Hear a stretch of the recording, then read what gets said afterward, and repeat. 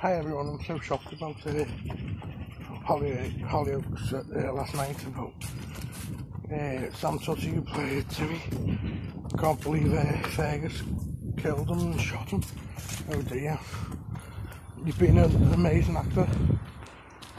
Really funny scenes, well done. I'm gonna miss you. Hope to get a picture and see you soon. You should get an award.